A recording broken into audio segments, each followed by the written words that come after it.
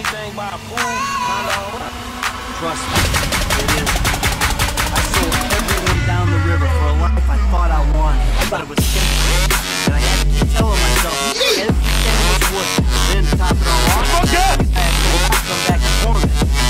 All my self-hatred manifested. And then life just got worse, eh? okay? So this ain't gonna teach you a lesson about